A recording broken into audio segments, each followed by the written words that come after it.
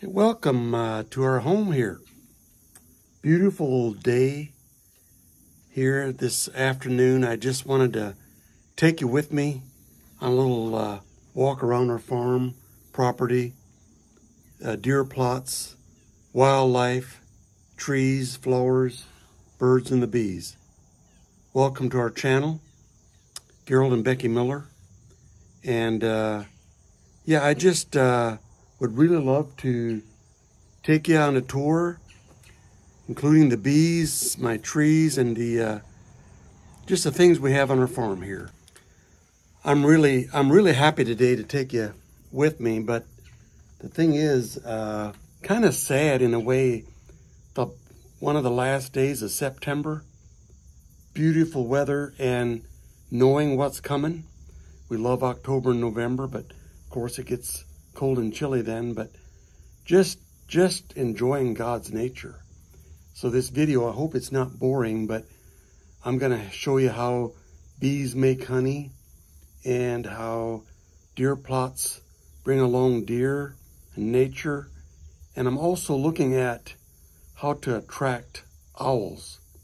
Some of you might laugh at that, but I've got some owls in my woods and I hear them at night. And I'd like to if you have any ideas, maybe in the comments, uh, explain to me how I can attract and put out nesting boxes. And yeah, it's a great day. Just join me, join in, and follow me around my farm.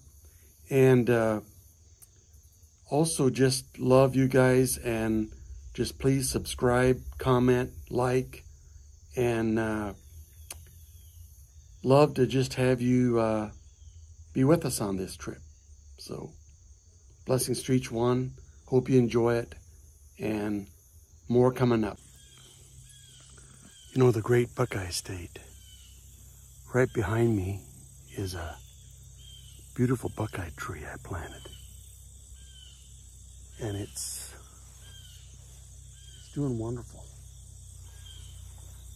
Doing a great job of colors with my really busy bees in the back behind me. Somehow they're really busy today. 75 degree weather and uh, just beautiful.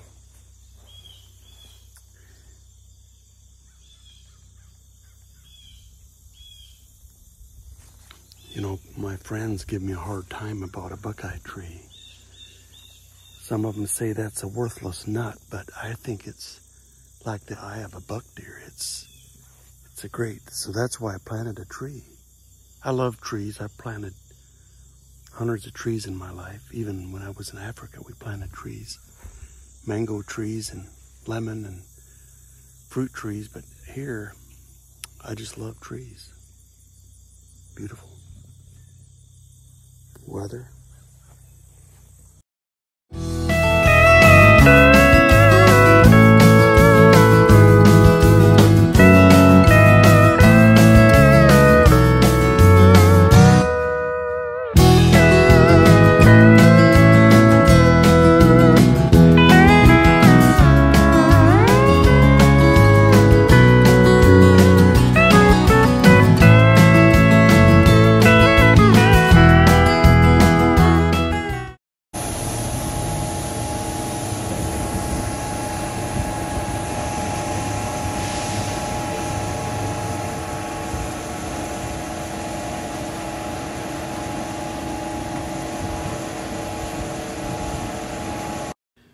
You will notice that the first part of this video is just showing what we did back in May.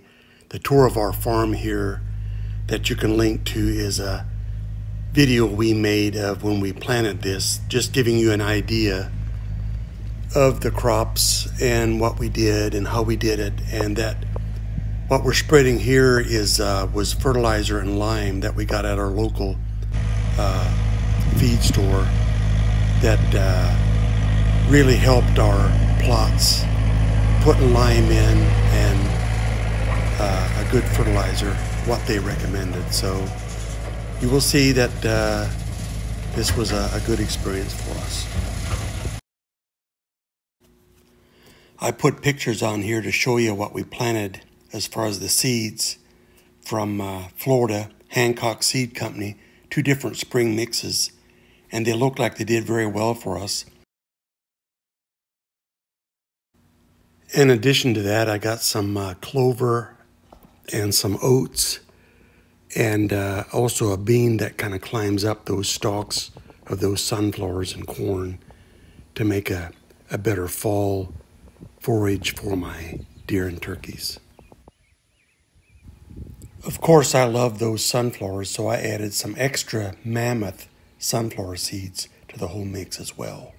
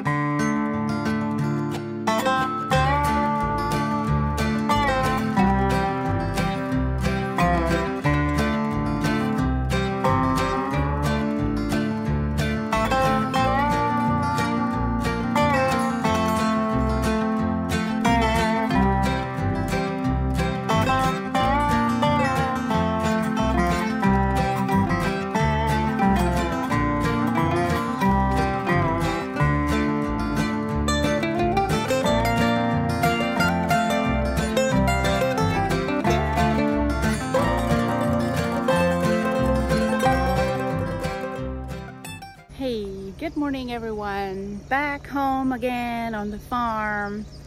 Back home where the sunflowers bloom and the coyotes howl and oh wow. Yeah, I've not heard coyotes in a while but we do in the summertime with sometimes.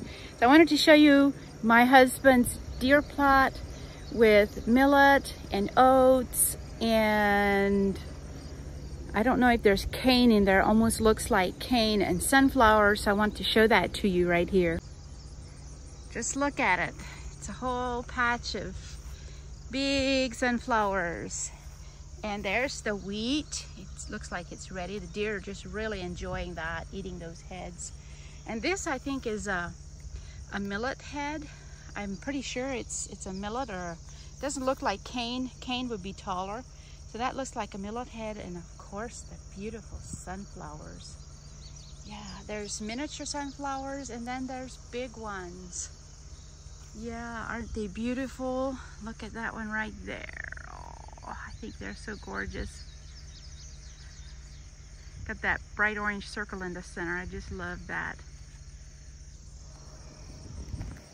Anyway, I'm gonna make a bouquet to take along to my family reunion and we're to travel about three or three and a half hours so I will be happy for that and I actually see some corn in there too I see some corn tassels in there. Anyway nice variety for the deer and it gives them a good diet so the deer meat is good or better maybe than some. So enjoy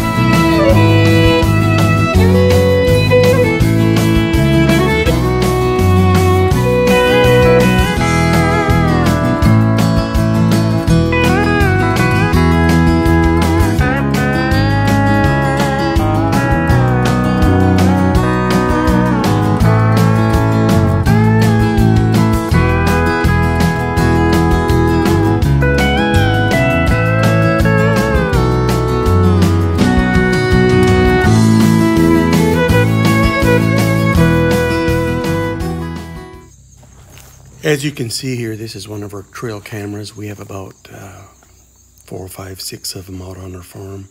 And this is a, an original deer lake where we put our salt and minerals in Lucky Buck. And the deer love to get into that every day.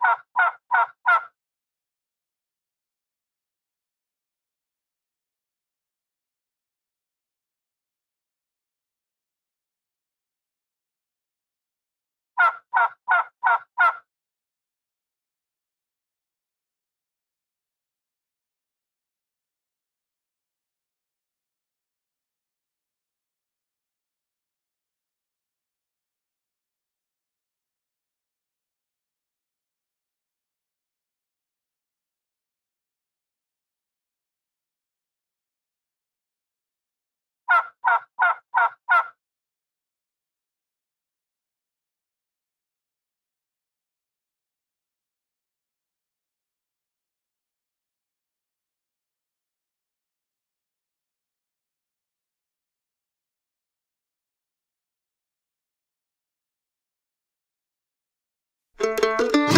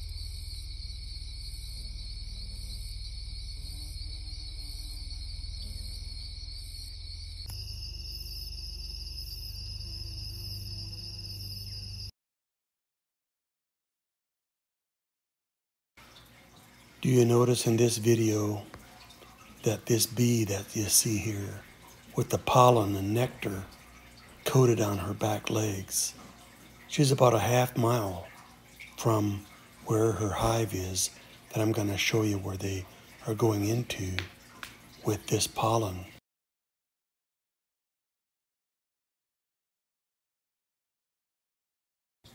This is uh, the last of the honey for the season is the goldenrod. And that is why if you buy goldenrod honey, it's made from these flowers.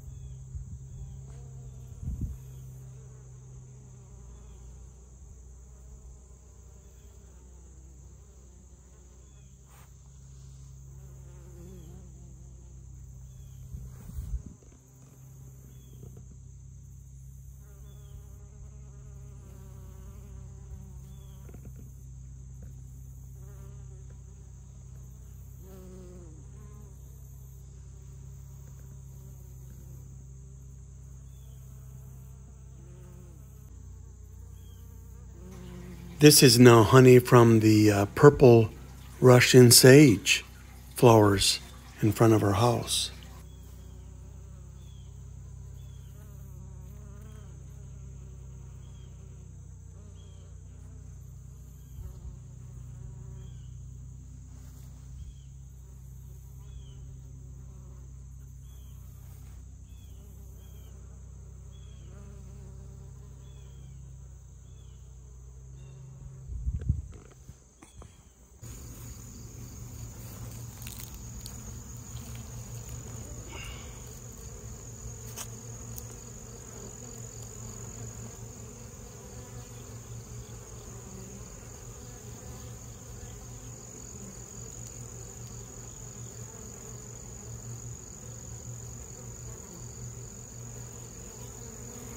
This video is quite long, and I'm sorry for that, but it's going to give you an idea on when the uh, bees are working like this before end of the year yet, getting ready for winter in Ohio, coming from that goldenrod field that you've seen, probably about a half mile to a mile away.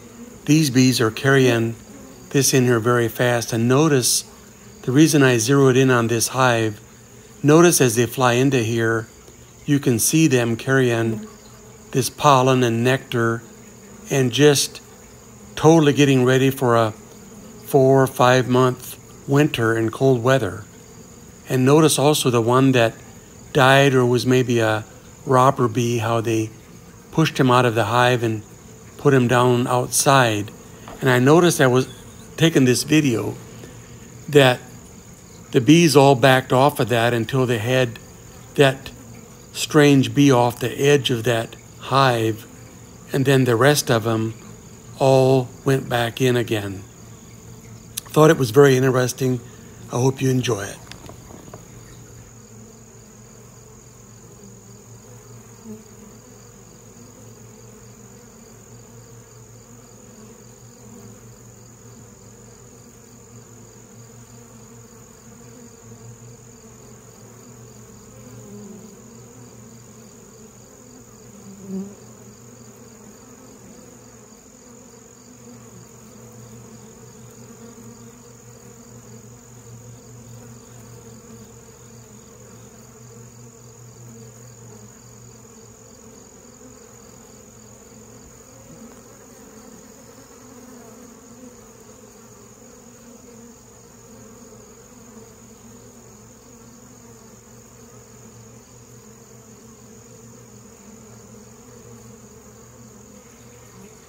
Notice here the bee is bringing that one out and it looks like they're trying to kill it. Now it's going back in in the middle of the hive, goes in a little bit, then it's going to come back out. Here it comes, and it's going to bring it back down. And as it brings it down and away, see how the other bees really go into that? Now it comes back out, it's trying to put it off on the side. Now the bees are really taking over, going back in. I'm not quite sure why they're doing that. Maybe somebody on here can comment or or uh, tell us what's going on here. But I do notice as soon as that bee is down, I don't know, did it get stung or what happened, but it's away from it, and all the other bees are going in and out, and it's probably going to end up dying right there. Interesting how Mother Nature is taking its course on here.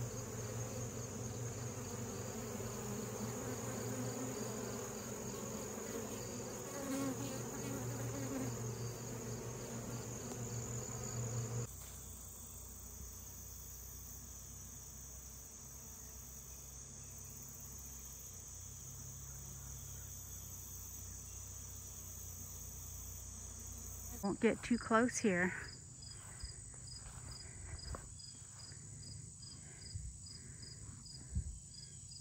He's putting something in that bowl, not sure what.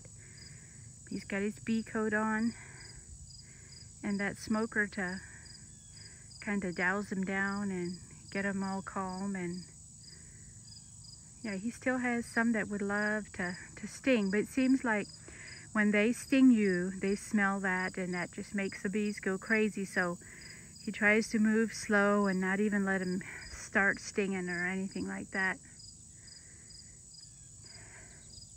Got lots of honey in there, honey? There's some honey. Look at all them bees. Oh, wow. He thinks I can come closer. I don't want to get stung. That white hive right there has got bees in it too. The second one, I don't know. The first one is active. I can see that. I painted that box. Yeah, there's bees going in and out of that box. And that one maybe. But the, that one with the pink flowers on top, I don't think there's anything going there. But the other one is very strong. It's actually got bees on the outside of the box and it's got quite a bit of honey in it. So we're excited about that. It's gonna put the lid back on.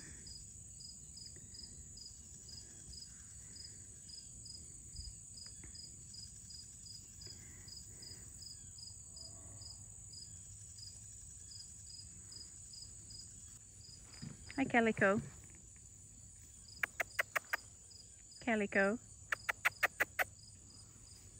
Okay. She likes the grass. Meow. Meow.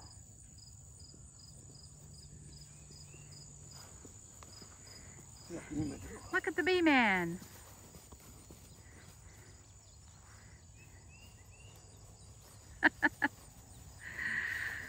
Got your bonnet on. Ooh wee. I better get out of here. What can you say? We're going to have some sweet honey right off the farm here in southern Ohio. Sweet honey right from the bees and the trees. Awesome, awesome. He's got another hive or so across the hall or back on the other end of the property. And um, yeah, we're hoping to get some honey this year.